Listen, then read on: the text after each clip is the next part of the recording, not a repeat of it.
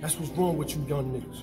Y'all wanna pull out guns all motherfucking day and shoot up everything, and you doing it for the wrong motherfucking cause. Ain't even about no money.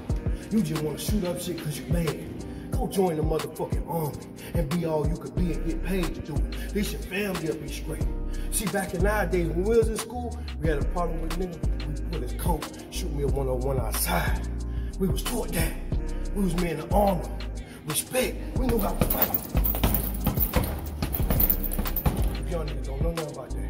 Y'all just wanna shoot up some shit. And then when you shoot, you shoot way up here. You ain't even hit your motherfucking target. You don't even know how to shoot a gun. You won't even taught how to shoot a gun. Fuck wrong with you niggas, man? Put these hands up. These hands gonna keep you out here. They ain't gonna have you in prison. They ain't got no guns in prison, nigga. They got these hands, nigga. Learn how to fight. Understand what I'm saying, man? Cause you shoot the wrong motherfucker, you might be shooting everywhere. Fuck around and hit my motherfucking grandma, I'ma kill you fuck ass, nigga.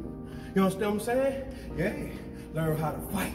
If you wanna shoot up shit, go get paid to do it. Go do it for Trump and get a motherfucking check and get you some Medicare out that shit too, nigga. Since you wanna be a gangster. Yeah, I'm tell you right now, this what they got in prison. Them motherfucking hands. They got these in prison.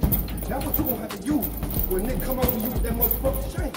And goddamn trying to stab your fucking head. You got to goddamn, you got to get your fucking ass.